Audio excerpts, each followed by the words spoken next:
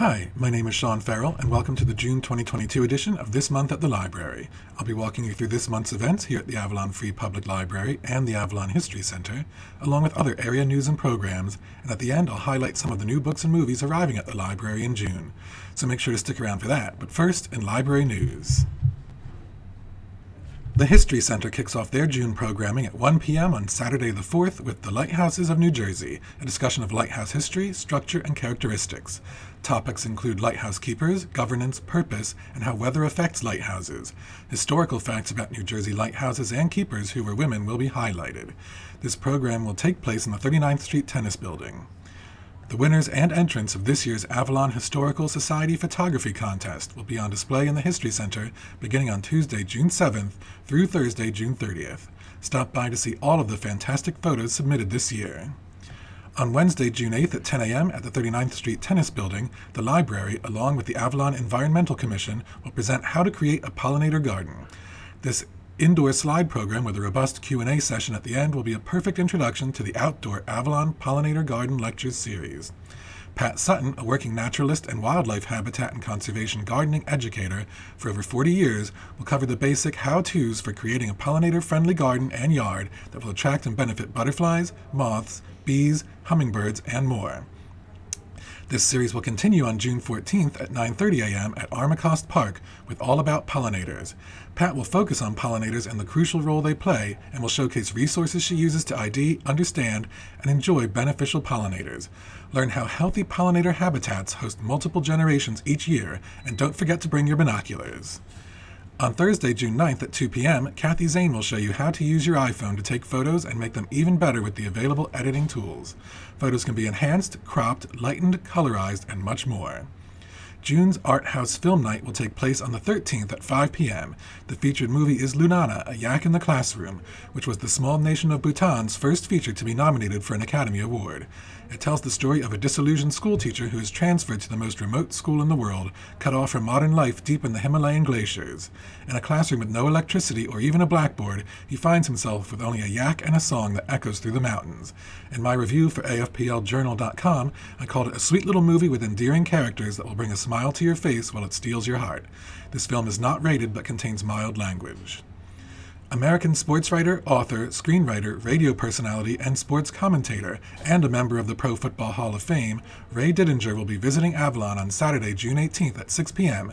to discuss his latest of 11 books, Finished Business My 50 Years of Headlines, Heroes, and Heartaches. He is also a graduate of Temple University, a full time member of NBC Sports, and a commentator on WIPFM in Philadelphia. This event will be held at Surfside Park. Who's that lady with the guitar? Why, it's Jen Stewart, ready to share music and songs with kids and their families. Are you ready to sing along with Jen? Then come visit the 39th Street Tennis Building on Monday, June 20th at 10 a.m. Everyone likes to visit the beach, but what do you know about the plants and animals that live there? Meet at 48th Street and Dune Drive in Avalon every Wednesday at 9:30 a.m. from June 22nd through August 31st for an interpretive walk with a naturalist along the Maritime Forest and Dune trails to learn about the flora and fauna that call this area their home, presented by the Wetlands Institute. LEGO Thursdays return starting on June 23rd at 10 a.m. and running through August 25th. The library will supply the Legos, you supply the imagination. Groups will work together to design and assemble a new project each session.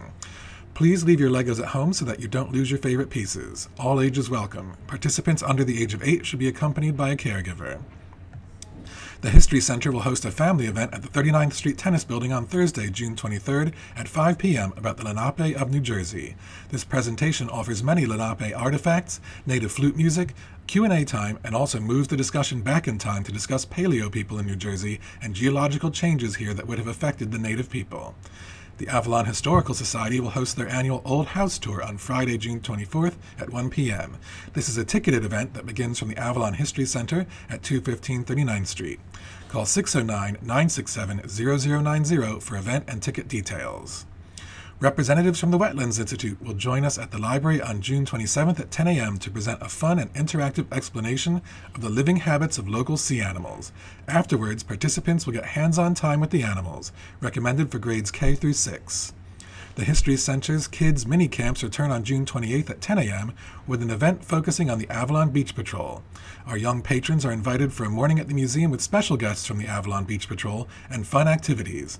This event is suggested for ages 8 through 12. Attendees under 8 must be accompanied by an adult caregiver. Paper Peddler Trivia Night returns to the Avalon History Center on Tuesday, June 28th at 7 p.m. Bring a team of friends and demonstrate your knowledge of Avalon's history and culture in a Quizzo inspired trivia game. Prizes will be awarded to the winning teams. Call 609 967 0090 to reserve a table for your team of up to four people. On Wednesday, June 29th at 5 p.m., take an up close look at the physiology of some of our local marine species. In Fish, Fins, and More, presented by Danielle Meeker, aquarist and environmental educator at the Wetlands Institute, she will present a discussion of what makes a fish a fish. The lecture will dive deeper into fish anatomy and learn what makes each fish unique and successful in its habitat.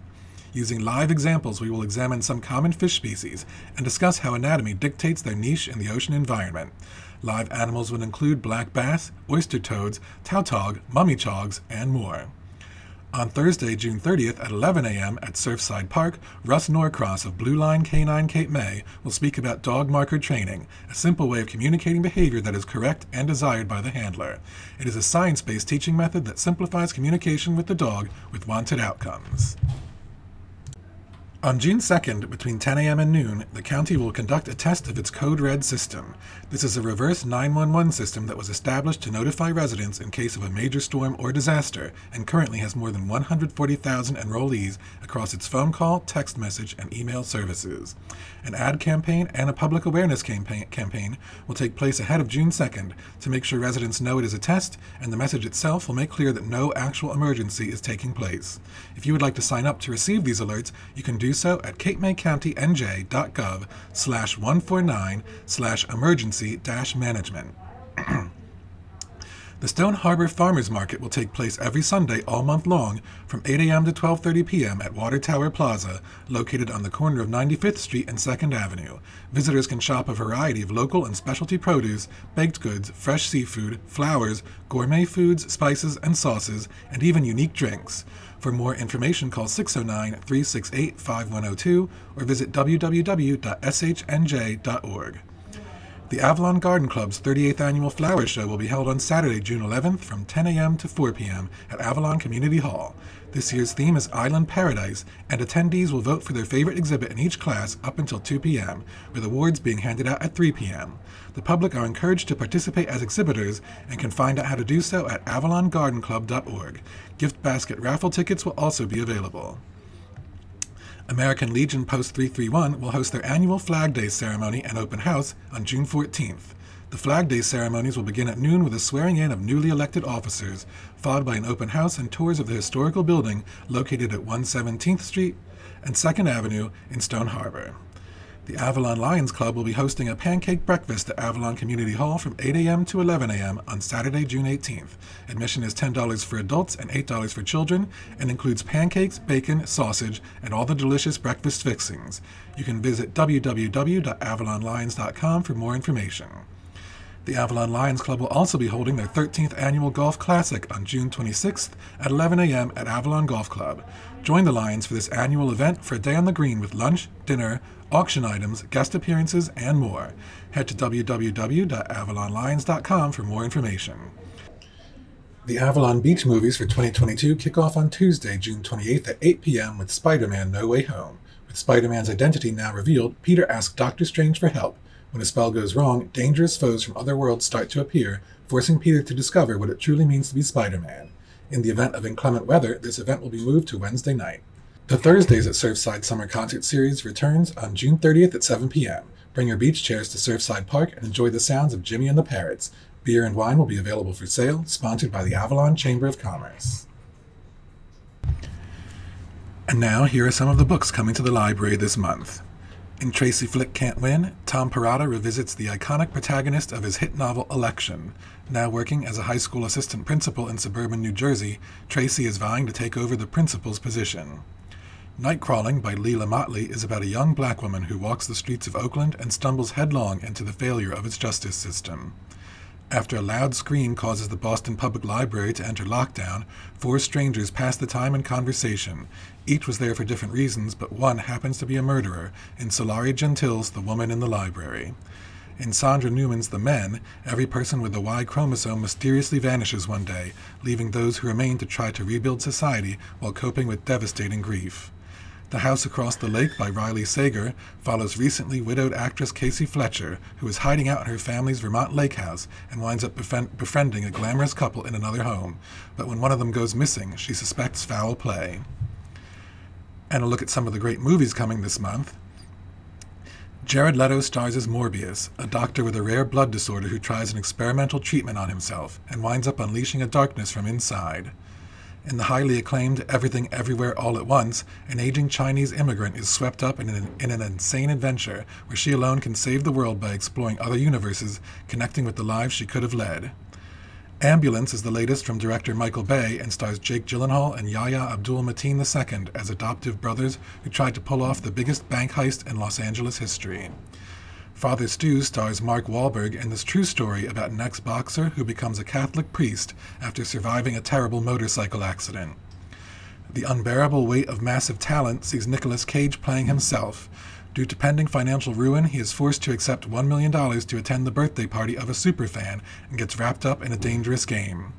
Foreign Language Academy Award nominee The Worst Person in the World chronicles four years in the life of Julia as she looks for love and meaning in the modern world. That's it for this month. Have a happy June, and I'll see you in the library.